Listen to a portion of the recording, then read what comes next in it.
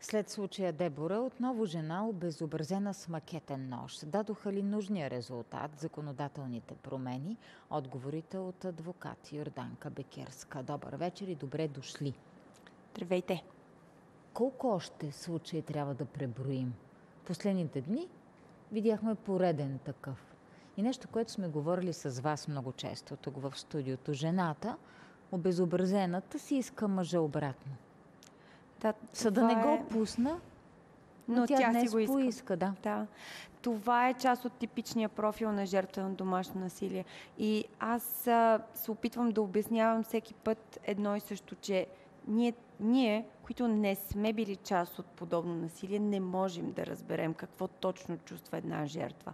И за това има феномен домашно насилие, за това този феномен е в целия свят, защото всъщност те са те са неразбираеми. Там има една симбиотична връзка между жертвата и насилника и те не могат да излязат от тази спирала, която ги води само и единствено надолу. Той бил съжалявал, тя го била разбирала. Тя го била а разбирала. тези законодателни промени, а детето... за, защо не стопираха тези случаи? Защото след промени... Дебора, вие някъде казахте, да. поне 5-6 случая има. Да, точно така. Има няколко случая след Дебора. Закона се промени. Законите работят, но трябва да има някой, който да търси помощ по силата на тези закони.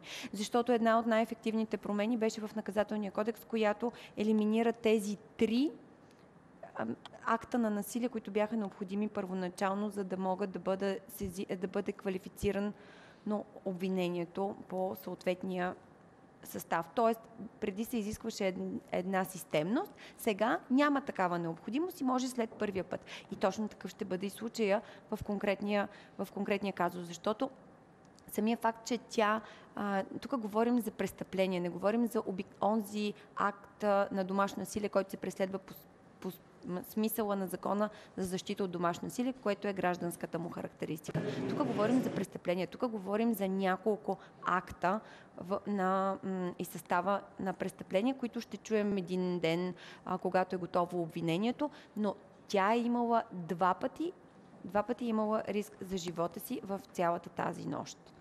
И на, нараняванията, нарязванията, все още не е ясно как са, как са причинени, защото експертизата не е, не е готова. И той каза, че не помни, след това отишъл при майка си, вероятно сте чули разказа. Точно така. И в един момент а, въпросът е какво правим с жертвата, защото той няма да може само заради нейната воля просто да не понесе наказателната отговорност за това, което е причинил. Защото да не, да не забравяме, че тук имаме две пострадали лица от насилието. Едното е тя, другото е детето.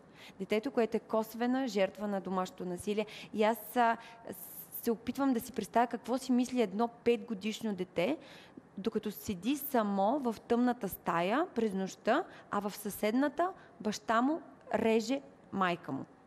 Добре, какво предвижда закона? Как да ги защити двете жертви? Законът, първото, което, първото което, което законът е направил и е била на местата на полицията, съответно, за да може да бъде арестувано ли, след това, лицето. след това адвокат От този момент нататъка, да, защото е, той ареста също не е много сигурен. Във всеки акт на насилие тук имаме тежко престъпление, но има много случаи, в които до арест не се стига, въпреки на местата на полицията.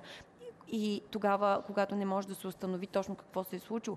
Но Всъщност в този случай работа с насилника, работа с психологическа и психотерапевтична работа с пострадалите лица е абсолютно задължителна с цел превенция. Това държавата поема ли го като разход? Поема го като разход, да. Стига да има желание? Стига да има... Не, тук е по заповед Задъл... на съда. Задължително по ли е тази работа да. с терапевт? Да, задължителна е тази работа с терапевт. И това, е, това не е промяна от миналата година, но става все по-ефективно, защото започна да се прилага и в други градове, освен София. И колко по-ефективно, когато всеки ден разказваме за подобни случаи. Ето днес в новините имахме за случай на убита жена. Да, в Радомир. Точно така. Ами, Истината е, че това е много трудно да се справим като, като държава и като общество. Кои много са е държавите трудно. първенци? Испания. Е, за Европа. прави Испания, което ние не правим? Това, което... Така че да не се стиги тук, може би трябва да кажем няколко думи за превенцията. Точно това е, което прави Испания по отношение на насилниците. Защото не, не че там няма насилие, не че там не се случват подобни Но да актове, не, че, не че няма убити жени. Напротив, обаче има толкова сериозни мерки срещу насилниците, че хората се страхуват от това да, пред, да, да не би дадено поведение от тяхна страна да бъде възприето като насилие и съответно да пострадат. Тоест има, има превенция на две нива. Едната, едното ниво, което е, е строгите мерки, за, за, за, е, е, които са ефективни, които се предприемат по отношение на насилниците от една как страна. изглеждат и тези второ, строги мерки? Ами, например, мога да ви дам пример. Когато аз съм имала клиенти от Испания, жертви на домашно насилие, жени, а, аз съм имала два пъти такива случаи и съм ставала свидетел как те успяват да извикат полицията в дома си само с един СМС, докато ескалира проблема. Това тук не може да се случи. Раз, нали разбирате колко различно е ам, нашето законодателство от тяхното. Ние не можем да извикаме полиция. Ние за да извикаме полиция, това е най-абсурдното, трябва да се обадиш, да се, да се идентифицираш, да, може би около 3-4 минути даваш информация какво се случва, за да преценят Е, към кого да те... това няма да ти го позволи. Обикновено случи ли се това и насилника чуе ли, че жертвата взима телефона, той единственото, което прави е да й отнеме тази вещ и, и взима телефона. И оттам насетне вече тази жена, която е в това положение на безсилие, тя няма друг начин, освен да крещи и да издава някакви звуци с надеждата, че някой ще звъне на звънеца и ще отиде да я Ама спаси. това обикновено но не се това случва във вашата разбира практика. не, Няма те, много не се случаи. чува. Тоест, а, може би си спомните, разказвала съм го не веднъж, има такъв, а, такъв един а, а, експеримент, в който жена крещи в събота в а, 3 часа след обед в един блок и на следващия ден, в неделя след обед по същото време, се, и, и никой, абсолютно никой не реагира. На следващия ден по същото време, в същия този блок, в същия този апартамент, започват с а, един гонг да удрят а, ритмично. На, може би, четвъртата минута Някой се е обадил. някой се е обадил. Е, това За това народопсихология говорим. психология Това е- ли е? да, това е Затваряме нашето си очите за проблема, но когато ти се наруши личното спокойствие, Точно вече така, реагираш. Ето това е, което липсва в нашето общество, защото когато си говорим за превенция, ние следва да имаме, следва да имаме пълната палитра от деца. Тоест, ние трябва да учим децата си да не извършват насилие и да не стават, т.е. да могат да го дефинират, за да не допускат да стават жертви на насилие, както ги учим как да пресичат. Със същия интензитет. Внимавай, внимавай, огледай се и така нататък. Знаете колко често се повтаря на едно дете да внимава докато пресича. Същото е и по отношение на насилието, защото той е навсякъде. Той е в училищата, той е в а, връзниците, той е на улицата, той е навсякъде. Насилието е навсякъде. Въпросът е да успеем да дефинираме тогава, когато той е още в зародиш. Защото в една двойка, когато започне да се случва насилието, от страна, може да се случва и двупосочно, обаче с различни формите. Тоест, разбира се, че и мъжете могат да бъдат жертви на насилие, но не сме чули за обезобразени мъже, Тоест, не се, не се случва толкова често да имаме мъже убити от съпругите си, за съжаление. Нали? Така Адвокат че Бекирска, къде е този списък с насилниците? този списък не е готов. Ама защо го чакаме толкова дълго време? Защото се оказа, че е много трудно да се изработи тази система и всъщност една година не беше достатъчна на държавата да стигне до този момент. Това, което е важното тук в момента е, че поне на този национален съвет, който беше изграден по силата на новите законодателни промени след казуса на Дебора, всъщност успя да направи една превенция, която е тригодишна превен... програма за превенция. Така че ние се движим в Тя правилната добра посока. ли е тази програма? Ако трябва да чакаме Ами- още N броя години, Общо взето се, се очаква до половин година да се и така Но нататък. вижте, той, той няма как да влезе в този списък, въпросния извършител, за който си говорим днес, ако Няма сигнали. няма сигнали. А тук няма сигнали. Тук има една търпимост от, общ- от страна на обществото, защото аз съм сигурна, че тази жена, колкото и да е търпяла, аз съм си, в нейния социален кръг все някой друг знае какво се случва. Тоест може да са нейни, нейните родители, нейното семейство, може да са а, хора, с които общува, съседи и ам, колеги евентуално. Така че, така че обществото ни е, това е, е начин на мислене, именно. пак стигаме до там. Точно, да. Вие помните ли преди 20 Надали семейни приятели години... ще го направят през главата на Точно жената. Точно така. Ама именно, няма, няма кой да реагира, а това е наша отговорност. Това е отговорност на всеки един от нас, когато чуе, че нещо подобно се случва, да реагира. Въпросът е да може да, да подаде оплакване, да може да се, да се помогне на жертвата. А вече, ако тя самата не иска да й бъде помогнато и няма престъпление, защото когато има престъпление, волята на жертвата е без значение. То, това е обществено опасно деяние, което се преследва по силата на наказателния кодекс. Обаче в случаите, в които няма е, е акт, да кажем един шамар, да кажем обида, Насилено заплаха, насилие, по, в другите му по-леки форми, които отново са за живото застрашаващи, тогава вече е необходимо оплакване от страна на на самата жертва. Добре, има ли тогава смисъл този списък с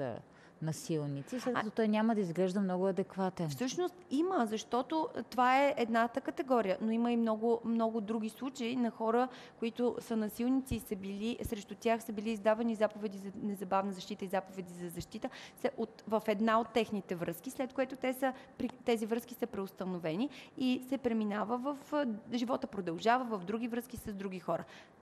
Поведението обаче остава същото, остава същото. вероятно. И тогава вече, тъй като в момента не можеш да проследиш дали в друг град, по друг казус, срещу други хора е било издавана подобна Добре, заповед. в този конкретен случай, с помощ. който започнахме, какво предвижда закона като санкция? Като санкция в случая е, предвижда лишаване от свобода. За колко време? От 2 до 10 години. И, и как финално изглеждат нещата? Условна присъда. Така ли адвокат Бекирска? Ами не искам да го казвам, защото все пак аз работя като адвокат и вярвам в нашото справедливостта на нашето правосъдие, но вие сама видяхте какво стана с а, а, насилника на Дебора. Това, че тя си е оттеглила обвиненията, това с което започнахме, това, това означава ли, че накрая няма да се стигне до ефективна присъда? Не. Не защото вече има. Защото вече има престъпление. Точно така. И защото, защото волята на жертвата няма значение тук. А профила на, домашни, на, на, на жертвите на домашно насилие, пак повтарям, е винаги един и същ. Този профил винаги съдържа страх, зависимост и други подобни елементи, които не позволяват на жертвата да излезе от спиралата. Тя няма способността, няма капацитета да си представи дори, че може да живее спокойно без насилника. Не може да си представи живота без него. Добре, но тази жена ще продължи ли да бъде в риск, когато си излежи присъдата, каквато и да е тя? Надяваме се, че ефективното наказание лишаване от свобода води до превенция. Каква и... превенция? Ами и не до рецидив всъщност. Така че, така че за към, към онзи момент, плюс това не забравяйте, че през цялото време нали, превъзпитание, идеята на, на лишаването от свобода е да има, да има превъзпитание. Хората, хората са лишавани от, от свобода с цел да не постъпват повече по този начин. Тоест, това е волята на законодателя и това е мисълта. Ние нямаме полза от това много хора да бъдат затворени в местата за лишаване от свобода. Това не води до по-добро съществуване. А това има ли го като метод на работа в местата, които са за хора лишени от свобода? По Затвори, принцип, арести и така с цел, нататък. С цел, да. Работи ли се Работи с тези се, хора? Насякъде има психолози, специално когато има пък насилие, има работа с извършителите. Въпросът е обаче колко е ефективно. Е, защото е, това тя, питам да, аз. защото колко е тя не, е, не е доброволна. Тоест тази работа ам, не е доброволна. Там хората, които са обвинени, че са насилници, не, не говоря за престъпниците, нали? говоря в а, случаи, когато имаме, имаме, д, а, имаме, да кажем, един битов а, скандал, който е завършил с шамар, с някакви ретници, тогава вече те ги пращат на подобна програма, за да ги изпращат, но, не, но против волята им. И тогава ефектът не е толкова добър. А има ли къде да бъдат настанявани жертвите? Ако няма къде да отидат, Кризисни защото центрове много често има, има да. този казус, вероятно и вие вашата Всъщност, практика това, което срещали. трябва да се знае и а, може би не, не е ясно за зрителите, е, че законодателя функционира така в дома на насилието се изв... от дома на насилието се извежда насилника, а не жертвата. Жертвата остава там и продължава да живее там по а, начина, по който е била преди. Тоест тя, тя продължава своя живот на същото място. Насилникът и кое е този... на насилника да се върне? Защото ограничителна заповед знаем, че не пречи. Не пречи, да, до, но всъщност тогава, тогава има методи от типа да се смени ключ, т.е. закона предвижда да се смени ключалката, да се направят някакви действия, които, които да са... Има план, план за действие в подобни случаи, който се разработва заедно с жертвата, за да може тя да се спаси.